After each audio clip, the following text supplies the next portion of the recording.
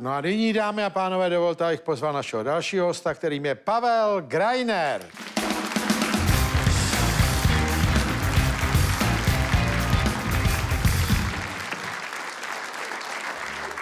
Co děláte? Jste tady byl dvakrát už. E, já jsem ten host. Vy jste jako host. Ano, já jsem ten Kreiner. To je v pohodě, to je brácha. O, on se vypučil. Pavel Greiner.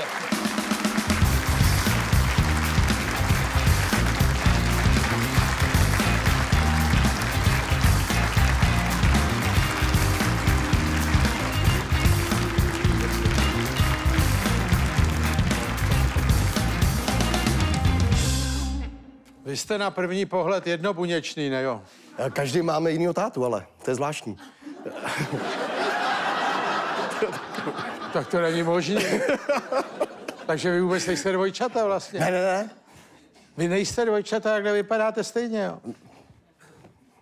Prosím vás, a, mm, to pana otce obdivuju teda. No ne, to ne maminku, protože otcové byli dva. Maminka dělá pořád jeden model. Přesně tak. Ona už s tím naštěstí... Je jedno s kým, že? Ona už s tím naštěstí skončila. Jo. Těma modelama, takže to je v pohodě teď. No ale tak to já nevěděl. Vy máte každý jinýho otce a vypadáte oba jak jednobuněční dvojčata, nebo jak to nazvat? Takže vy nejste dvojčata. Jsme. Jste dvojčata? Jo. Jako... Jak, jak jste dvojčata? O kolik hodin nebo... No, asi tak o půl hodiny. Já jsem starší a on šel pak po mně. Prostě tak jsme to měli, no. No tak když jste je- starší, tak to je jasný. A to je úžasný parťák v mém životě. A to je hustý, že jsme se tady dneska potkali prostě náhoda a Ano, no tak uh, bratr Pavla je náš zvukař a Pavel je tady, protože dělá takový pořad o autoškole, učí autoškole, zároveň je komisař autoškoly, že jo? bejval jsem. Býval komisař a má takový pořad na YouTube, kde si zve různý celebrity, s kterýma ukazuje, jak umějí a neumějí řídit, nebo lépe řečeno, vy je necháte, aby řídili, že jo? Přesně A tak. posuzujete to. Přesně tak. A zkouším, co ten daný umělec umí či neumí, jestli by udělal zkoušku při, jako před těma x lety, když začínal v autoškole, a jestli by byl úplně stejný jako ty žáci v autoškole. No a oni ty celebrity jsou důležitý proto, aby přitáhli pozornost lidí na, to, na ten pořad s tím řízením, že jo? Přesně tak. Mně šlo totiž o to, že jsem cílil na tu bezpečnost silničním provozu, kdy jsem si přál, uh, aby tady byl nějaký pořad, který ukáže, jestli umíme jezdit nebo neumíme. Ale bohužel, když já dělám svoje videa, tak mým ksichtem se to moc neprodává, tedy pořadu díky bráchovi teda asi jo. Ale uh, potom jsem si teda říkal, že by bylo dobrý oslovit uh, známé osobnosti. Hmm. A protože uh, nikdo se vlastně jich vůbec nikdy neptal v životě na to, jak řídí, co dokážou, Ano, co to je umějí. pravda. A dlouho jsem bazíroval, jak ten pořad udělal třeba 10 let a pak se objevil můj kamarád eh, Matěj Smrstal, kdysi dávno, moderátor toho pořadu, že si chtěl sám zkusit, jestli by zvládnul autoškolu. Ano. A shodou okolností v tu dobu, já jsem dělal pro některé agentury, e, pro ně herce, aby měli do filmu a já jsem nikdy nechtěl žádný penízky za to a ba pak jsem chtěl, aby ten herec nebo ta agentura nás třeba pozval na nějaký natáčení nebo třeba na raut nebo e, premiéru toho filmu a díky tomu já jsem potom seznámil s těma celebritama.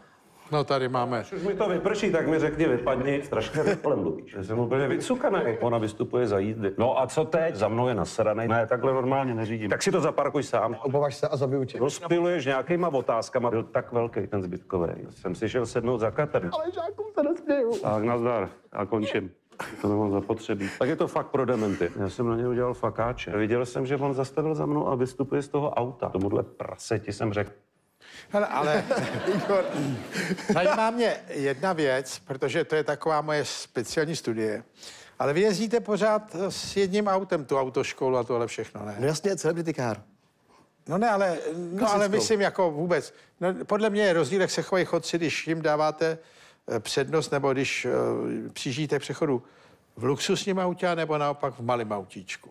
My v autoškole luxusní auto nemáme, takže No budeme právě. v tom malém No, autě. Tak to, je, to je taková moje tak. psychologická studie, protože když jedete v luxusním, tak oni jdou strašně pomalu. Na tom přechodu. Jako teď počkáš. Ať máš káru, jakou chceš, kreténe. A když jedete s malým, ahoj, aha, to přede... Nebudu zdržovat. Ale tak eh, Podívejte, já vám řeknu, co moje zkušenosti. Třeba lidi přestali dávat blinkry. Všiml jste si to? Ne, to není tím, že přestali dávat blinkry. Oni si kupují špatný auta. Jo. Oni si koupí auto za, za, to za 3 miliony a to nemá blinker. Jak je to možný? A nemá Jak- ani handsfree. Moje klasické auto to má, ale to je prostě zvláštní. Ne, ale Kupují oni, auta. některý je nedávají vůbec Přesně. a některý je dávají v okamžiku, kdy začínají zatáčet. Tak mu tam ta ruka tak jako sjede, že jde to. Ale to je ohromně nebezpečná věc, často. No jasný. Jak jinak prostě máme upozornit jako ty ostatní, že prostě někam no. jedeme. No ale že to dělá hodně jich, ne? Nebo Jistě. Jakou máte s tím zkušenost? Velkou. Hlavně, když třeba jedou pohlavní doleva nebo doprava, tak neblikají. Říkají, jedu pohlavní. Jo, jo, jo. To je pravda. Proto Všichni, ty videa. jo, jo, aby se jo. to Když jede naučili. po hlavní, tak vlastně on blikat nemusí, protože je na hlavní. Přesně. Děláte to nebo ne? Já? Blikáte? Já blikám, i když neodboču. Já se snažím všem dát najevo, že máme blikat. No. Já jsem vám tady teda tím pádem přivez, přidal, přines pozvánku k nám do Celebrity v autoškole. Aha. Eh, Kdybyste se uráčil k nám taky do toho pořadu, jako já jsem dneska u vás. Vy tam chcete nějaký eh, přednášky ode mě asi, ne? Já, vy jenom pojedete, já vás vyzkouším a uvidí to tady celý národ. A No. abyste v tom pořadu byl úplně excelentní, tak té čepici jsem vám tady přines ještě uh, mikinu Celebrity v autoškole, abyste si tam... mohli Já už se asi do normálního oblečení nedostanu. Tohle je, pro vás, to jsem vám tady přines, to Jo. potom na sebe. Dobře, to Já vám děkuju moc Já mám tady ještě i pro pana Odvárku samozřejmě, kde je. Pro pana Odvárku tamhle. Děkuju.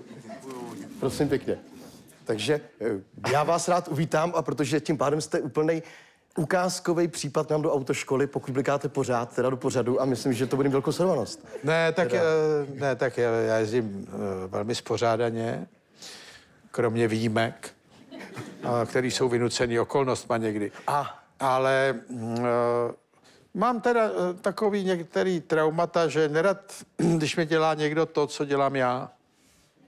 oplátíme mu to. Ne, eh, já jsem netrpělivý člověk. Já můžu třeba 30 km hodině, ale neměl by být nikdo přede mnou.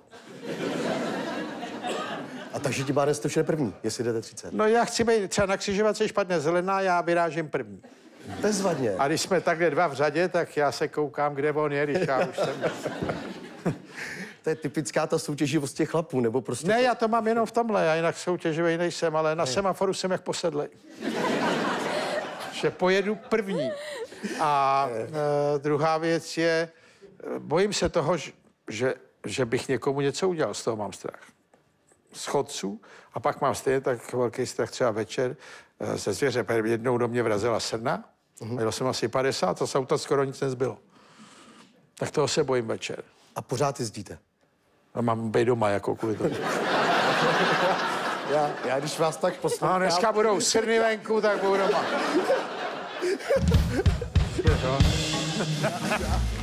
Já, jako škola. Krista. já, eh, nechcete ke mně přijít ještě před tím pořadem, já bych Ne. vás proklepnul. Ne, ne, ale Večer. jako představa, že někdo řekne, já tam viděl zajíce, a řeknu, kde? No, no tak tam nejedu. No tak to...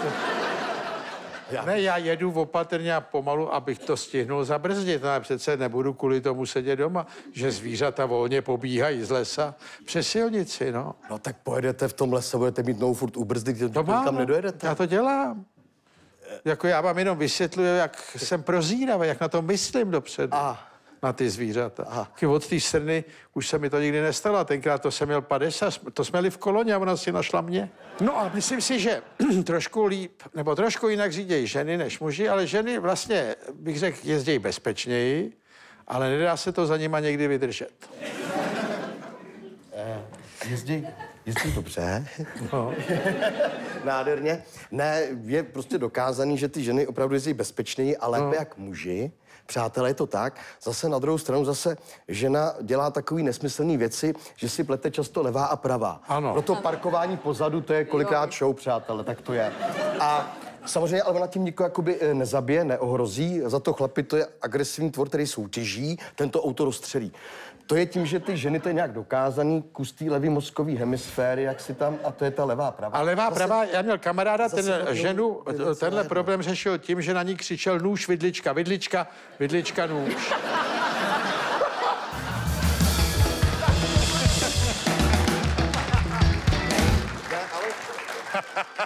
A ona podle toho bravurně věděla, Ale to je tak všeobecně na Jednou mi kamarád říká, hele, pojď se podívat tamhle na ladronku, eh, tam holky cvičí zumbu a já říkám, nebo ženy, a já říkám, tam to budou ty prdelky. A on říkal, ne, pojď si podívat, tak oni tam parkujou. jako, že tam je zábava, jo. No tak parkování je kapitola sama pro sebe. Teďko jsou ty auta, že umí jako zaparkovat samo, trvá mu to asi půl hodiny, potřebuje na to asi dvakrát tolik místa, to je skoro k ničemu. Děsí vás to, protože to je většinou rychle. Teď se bojíte, jestli to fakt samo zaparkuje nebo ne. No on to moc rychle nedělá, najíždí no. si, no ale je to takový divný, jako člověk na to nemá čas ani nervy. Ale to samotné parkování je taky problém, že jo. A třeba kor v Praze. Když už to místo najdete, tak vás oblije takový štěstí, že to je na úrovni jako sexuálního zážitku. A pak je druhá věc, to je stejně jako když máte auto na dobrém místě před domem, tak si začne, začnete jezdit taxíkem, abyste o ten flek nepřišel. Protože to místo máte tak dvakrát do roka, jo. My ten sexuální zážitek s těma žákama máme každý den samozřejmě, i ty No. no. když mají parkovat. Já bych chtěl pozdravit do autoškoly všechny. Ale ono to parkování, to je je trošku to tak, že- těžký a člověk je to- nikdy neví, jak se mu to povede, že jo? No ale zase uh, většinou se vám stane, když ten flek konečně najdete, máte teda ty orgie, tak vám tam někdo vyjde. No. Jo, než to uděláte. Ne, to, no to je další věc. No to jo. znám, no, to jsem To zažil je taková. Ne, přede mnou tam zajel. No. Ale podívejte, on si to málo kdo umí představit. Já vždycky říkám, když jsme bydleli na Vinohradech, já jsem někdy zaparkoval dál, než odkud jsem přijel.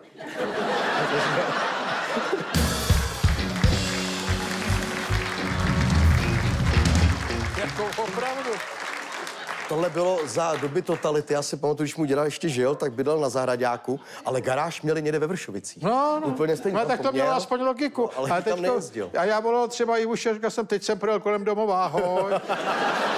A ona jdeš nahoru a říkám, ne, ne, kroužím, kroužím. A pak těsně přede mnou, když tam zajížděl, já úplně, ale co se za sprostý pudy v člověku probudí. Si, si přes jako táhnu z toho, že snad si nemyslíš, že tady máš parkovat ty, ty vole. No ale je to marný. No a takže vy, když pak to místo máte, tak jste rozrušený, takže parkujete o to hůř ještě, ne? No, jasně. Samozřejmě, to jako zkuste parkovat, když vás někdo kouká. No, až na vás ještě- kouká. Jo, teď ještě tak, ten vidíte, se sázej. Přesně tak, kdo to zaparkuje. Takovej. jo, přesně. No ale je na to nějaký recept, není, než to v podstatě trénovat. Být prostě v klidu. A kašlat na ty lidi, co jsou za váma, že čekají, jestli zaparkujete nebo ne. Asi bych poradil začátečníkům, když jsou Vánoce, tak asi neuk- neukazujte tady ty orgie přímo u těch hlavních chodů těch obchodáků, dejte to někam daleko, prostě, kde jsou nějaký ty čáry až daleko, ten nákup si přeci dovezete. Proč ne, ale Takže pojedu fakt jenom, město s nákupem, protože jsem parkoval v klidu v Kačerově. dělejte to podle pana Krause.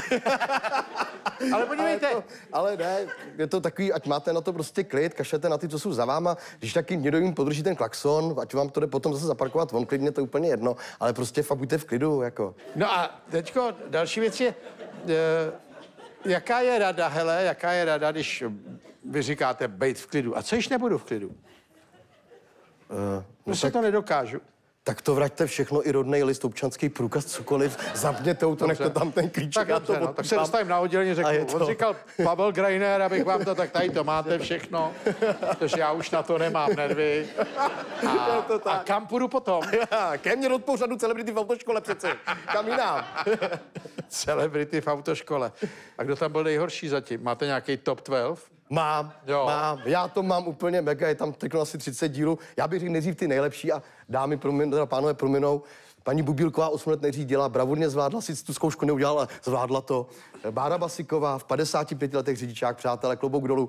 A takový ty, Alá prase, Pavel Novotný, to byl, znáte všichni, starosta Řepory, to byla fakt show, to jsme tam báli úplně všichni. Michal Novotný z Partičky byl taky vulgární, ale měl pravdu. A to prostě byly takový ty top. A jo. pak jsou samozřejmě celebrity, který na sebe i prozradí to, co by v životě neprozradili, jest nějaký body nebo alkohol, což taky pak čumí, vůbec to o nich nevíme. Ale tohle byl největší top. A potom Petr Jablonský, kdy se mě v tom autě vystřídalo Miloš Zeman, že jo, a Jo, jo, Andrej Babiš a, a Petr Pavel a tam toho bylo najednou v tom autě. Prezidentská limuzína z toho byla. Já to na to začne sledovat.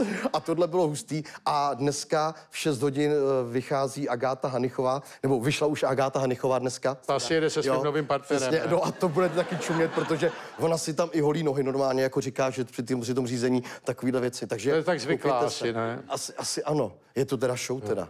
No. A co byste poradil proti uh, spaní, když na člověka jde spaní? Ale přátelé, jako fakt po těch dvou a půl hodinách si dávejte tu pauzu.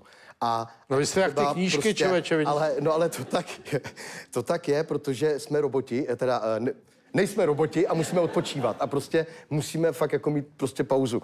Vidím, že vy jste na to velký fajnšmekr, ale Miluju to. no, a to je na tomto krásný. Pavel Greiner.